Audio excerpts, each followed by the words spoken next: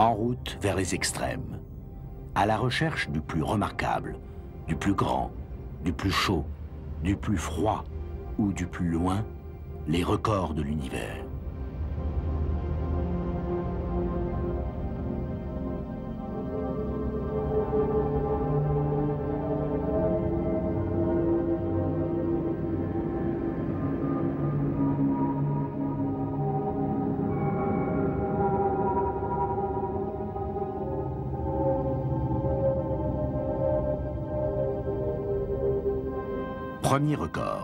La Terre abrite le plus grand organisme vivant du système solaire au nord-est de l'Australie, le corail de la Grande Barrière de Corail.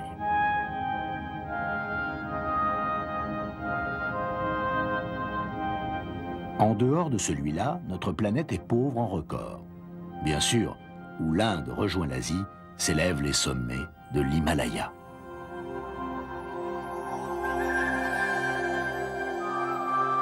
À 8800 mètres de haut, c'est le plus haut sommet de la Terre.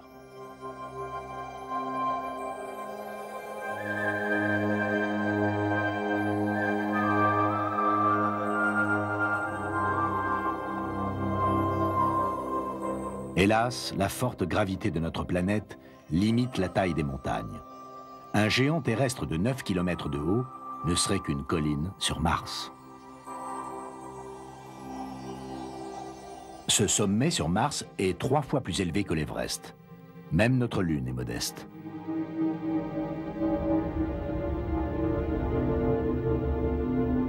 Ganymède, une lune de Jupiter, est le plus gros satellite du système solaire, de la taille d'une planète, plus gros même que Pluton et Mercure.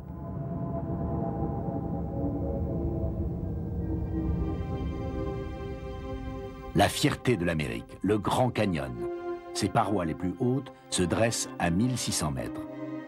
Sur Miranda, un satellite glacé d'Uranus, certaines falaises mesurent près de 20 km de haut.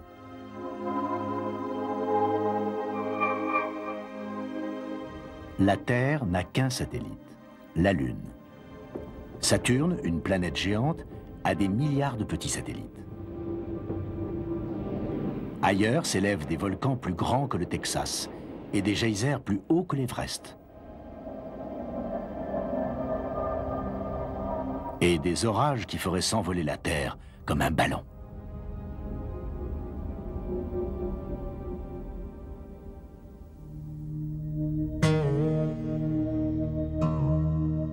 La température la plus haute jamais enregistrée sur Terre est de 58 degrés en Libye. C'est chaud, mais ce n'est rien comparé à la source de cette chaleur le soleil.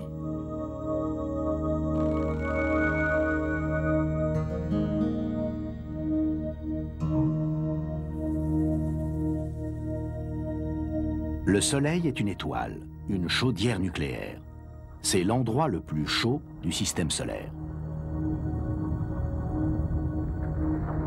Au cœur du Soleil, à l'endroit de la fusion, la température est de 15 millions de degrés. Pourtant, à la surface, sa température n'est plus que de 6000 degrés. Et dans une tache solaire, seulement de 4500 degrés. Mais sans que personne ne sache encore pourquoi, les températures s'élèvent dans l'atmosphère solaire. Dans la couronne, elles grimpent à plus de 2 millions de degrés.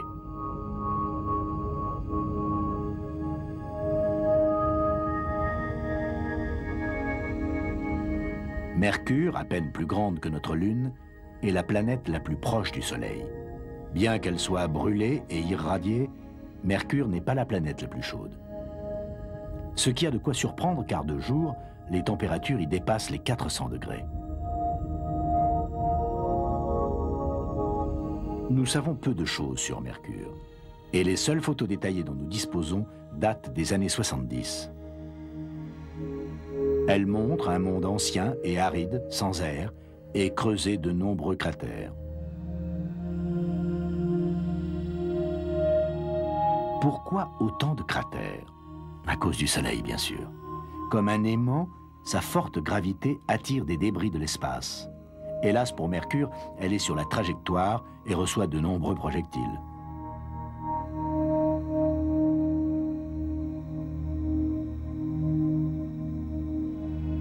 Le lever du Soleil sur Mercure est le plus étrange du système solaire. À certains endroits, le Soleil semble rebondir comme un ballon. Ceci est dû à la vitesse de rotation particulière de Mercure, ainsi qu'à l'excentricité de son orbite. À peine le Soleil se couche, il doit se lever à nouveau. Voici une autre énigme. En observant grâce à des radars Mercure, trop proches du Soleil pour être nettement visibles dans le domaine optique, des astronomes ont découvert des taches brillantes au pôle. Ils pensent qu'il s'agit de glace. De la glace si près du Soleil C'est possible, car la nuit, les températures dégringolent en dessous de moins 170 degrés. Les pôles étant plongés dans une obscurité permanente, la glace d'anciennes comètes a pu survivre.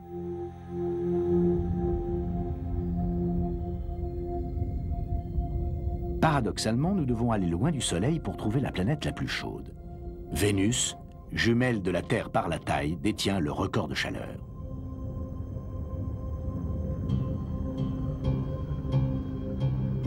Vénus est un enfer où la chaleur du Soleil se retrouve piégée par une atmosphère 90 fois plus dense que celle de la Terre. Où que vous alliez, de jour comme de nuit, la température reste constante, 450 degrés.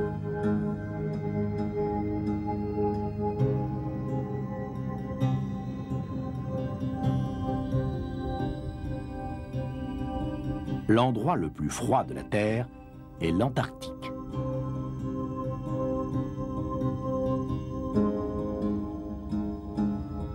La température la plus basse jamais enregistrée sur ce continent est moins 55 degrés.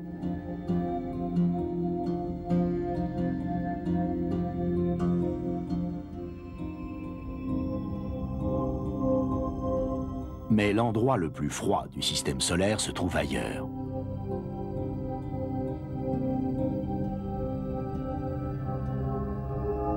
Les planètes extérieures et le satellite Miranda. Miranda n'est pas seulement couverte de glace, elle est formée de glace.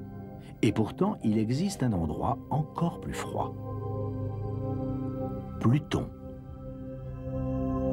Suivant une vaste orbite elliptique, Pluton est la planète la plus éloignée du Soleil. C'est également la plus petite et la moins bien connue. Pourtant, il existe un endroit encore plus froid. C'est ici que les astronomes ont enregistré les températures les plus basses à ce jour. Triton, un satellite de Neptune. Les températures ne dépassent pas moins 180 degrés en dessous de zéro.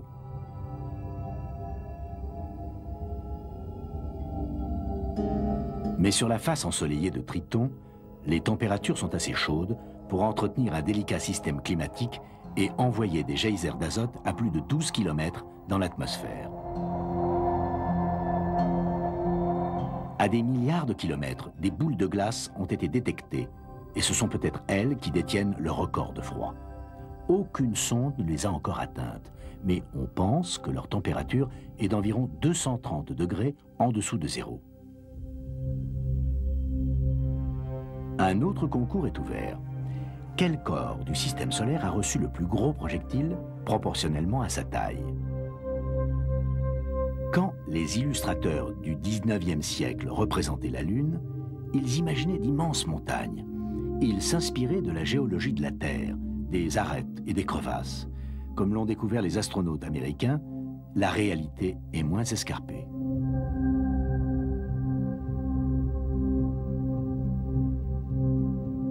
Il y a des sommets plus élevés que l'Everest et des cratères immenses, mais ils semblent arrondis et aplatis. En fait, c'est parce que la Lune est une petite planète. Il n'est pas nécessaire de s'éloigner de beaucoup pour que les reliefs disparaissent derrière l'horizon. Pourtant, ce cratère est impressionnant. C'est la mer orientale, d'un diamètre de 920 km.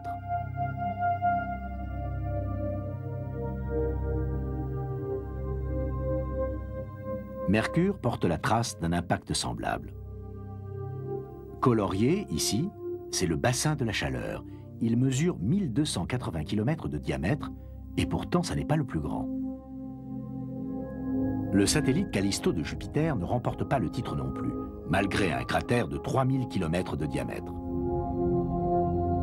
La coupe revient à Mimas, un minuscule satellite de Saturne. Ce cratère ne mesure que 128 km de diamètre, mais il couvre un tiers du diamètre de Mimas.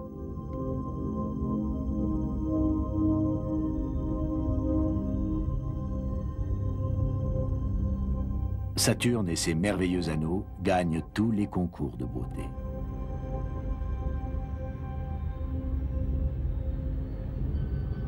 Admirés en gros plan, les anneaux sont formés d'innombrables petits satellites qui orbitent à l'unisson autour de la grosse planète.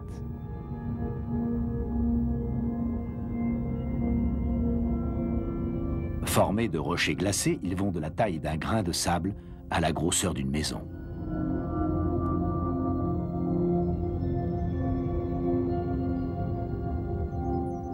Les hommes connaissaient ces anneaux depuis des siècles, mais jusqu'à la sonde voyageur au début des années 80, les astronomes pensaient qu'il n'y avait qu'une demi-douzaine d'anneaux. En se servant de l'occultation d'une étoile située derrière les anneaux, Voyageur les a comptés. Il y a sept bandes principales formées de centaines d'anneaux. On pense qu'il s'agit de débris de satellites éclatés. Et Mimas a eu de la chance de ne pas les rejoindre. Si le missile qui a creusé son cratère avait été plus gros, Mimas aurait été pulvérisé.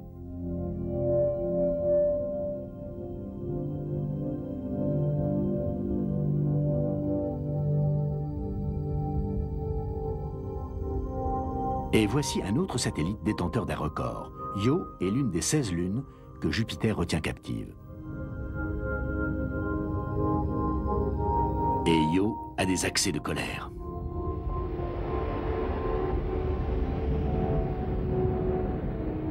Des volcans projettent des gaz à une altitude proche de 300 km.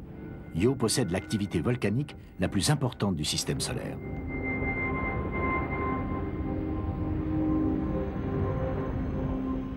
Le plus grand volcan est sur Mars. Le mont Olympe éteint depuis longtemps.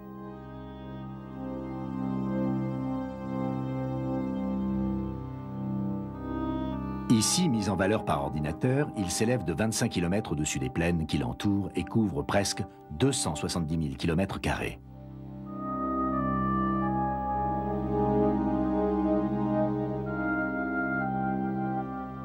Le mont Olympe est l'un des nombreux énormes volcans de Mars, reliques d'un passé agité.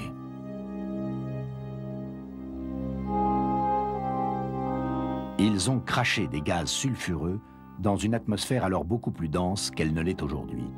Dans le passé, Mars était une planète dotée d'un climat d'eau et peut-être, qui sait, de vie. Les triples volcans de Tarsis. Nous survolons Mars.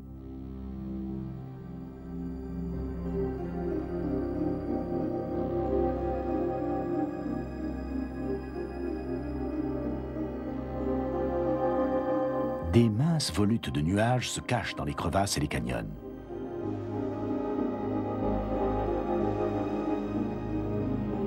Mars est une planète froide et sans vie. Au mieux, la température monte à 24 degrés, en plein été à l'équateur.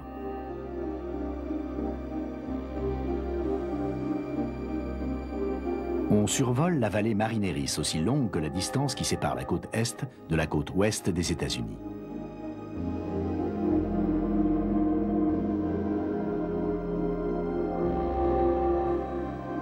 Et voilà Arcia, l'un des trois volcans de Tarsis.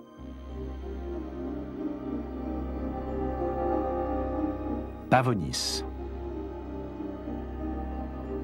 Et Ascraeus. Des volcans gigantesques. Une superbe photo pour l'album, surtout encadrée par les murailles de la vallée Marineris.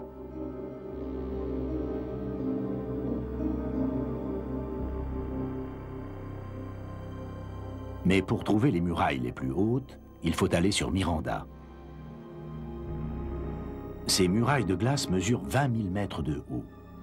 La gravité est si faible que si vous sautez du sommet, vous n'atteindrez pas le fond avant 12 minutes et demie.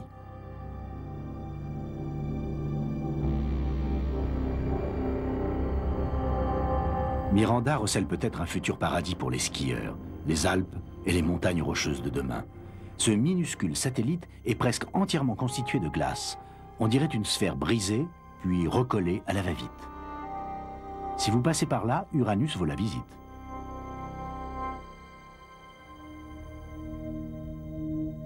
Où se trouve le plus mauvais climat du système solaire?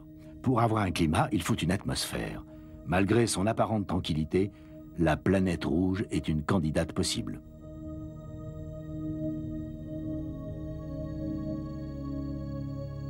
L'aube sur Mars. En 1976, les Américains firent atterrir deux sondes spatiales sur la planète et voilà ce qu'elles ont vu. Un désert sans vie, rougi par l'oxyde de fer. La température à midi, plus 4 degrés Celsius. Une atmosphère de gaz carbonique, moins de 1% de celle de la Terre.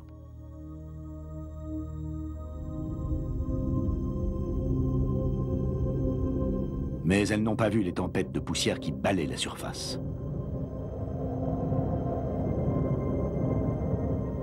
Des tempêtes si fortes qu'elles peuvent être filmées de la Terre, tandis qu'elles enveloppent Mars tout entière.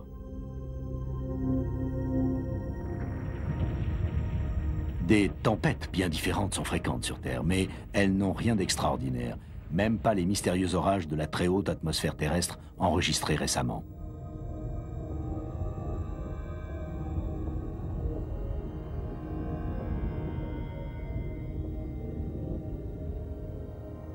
Pour trouver un climat extraordinaire, il faut aller sur une planète géante. Quand Voyageur a observé Saturne, les instruments ont dû le faire à travers un brouillard qui cachait le climat. Dans ce plan large, les bandes de circulation atmosphérique sont à peine visibles avec trois des satellites de Saturne. Les ceintures sont des courants de nuages soufflant le plus souvent de l'Est autour de la planète.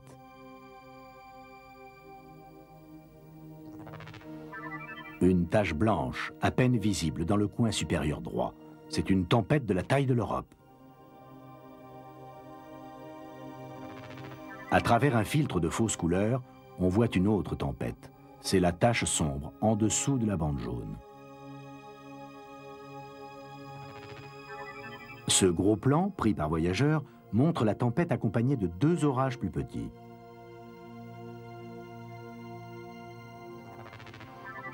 Et ici, la mince traînée ondulante d'un courant d'altitude, comme ceux que l'on trouve dans l'atmosphère supérieure de la Terre. Sur Saturne, il souffle à plus de 1600 km/h, cinq fois plus vite que sur la Terre. Ces images montrent le climat le plus extrême de Saturne, une tempête qui ne souffle qu'une fois tous les 30 ans. Cet événement ne se produit que quand Saturne est le plus proche du Soleil. C'est le grand blizzard d'ammoniac. À son maximum, il entoure l'équateur.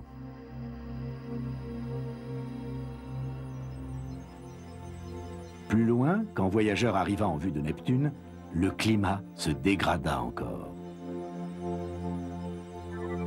Le nuage supérieur était bénin.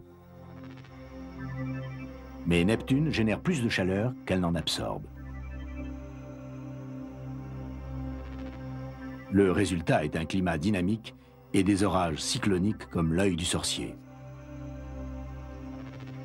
Et au-dessus de l'œil, cette grande tache sombre est une tempête de la taille de la Terre.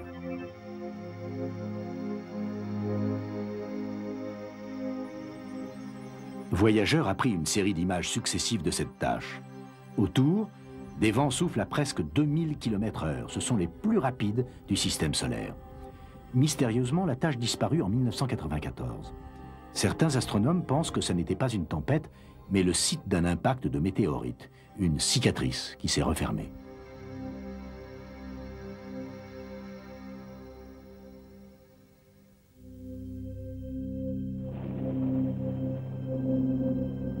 Abandonnant les plus grandes tempêtes, nous nous dirigeons vers la plus grande planète, Jupiter.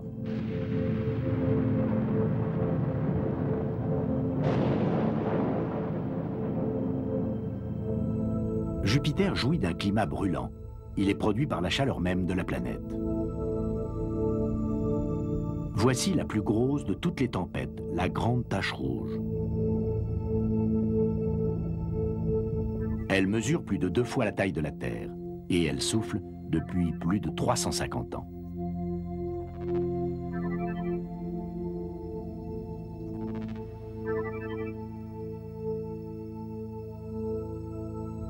La tache rouge est un tourbillon de haute pression. Mais comment s'est-il formé? Une bande climatique simulée par ordinateur montre comment plusieurs tempêtes, se poursuivant autour de la planète, peuvent finir par se rejoindre pour ne plus former qu'un seul et même orage, tel que la tache rouge.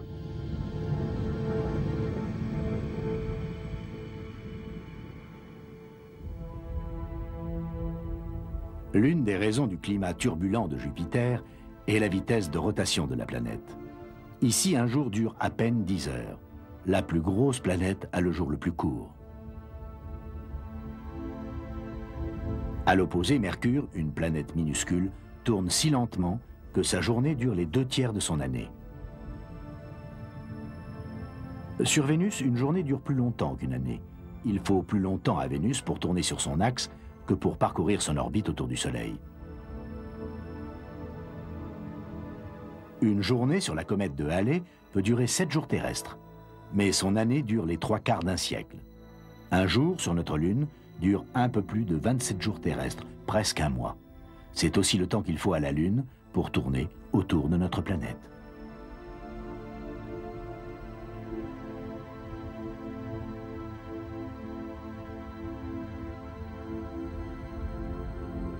C'est aussi vrai pour les lunes de Jupiter et pour tous les satellites.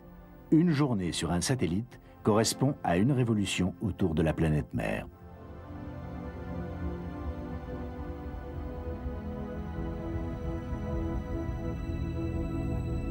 Ganymède est le plus grand satellite du système solaire.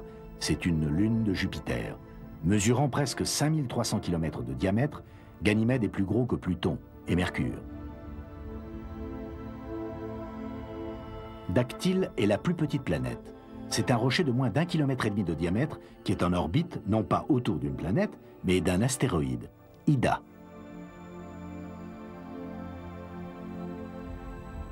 Pluton est la plus petite planète. Son diamètre est égal à la moitié de la distance entre la côte est et la côte ouest des États-Unis. Pluton voyage avec son compagnon, Charon.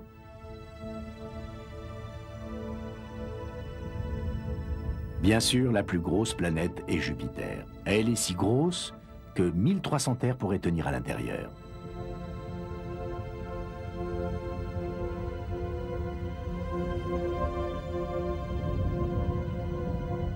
Le plus gros corps du système solaire est le Soleil. Avec 1 400 000 km de diamètre, il faudrait plus d'un million de terres pour le remplir.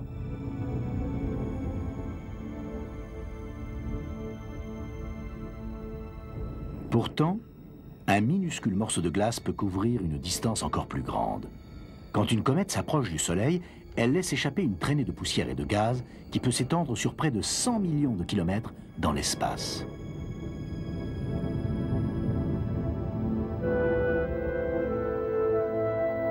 Mais voici la championne du système solaire. Quitter notre planète nous fait l'apprécier davantage. Notre Terre bat tous les records.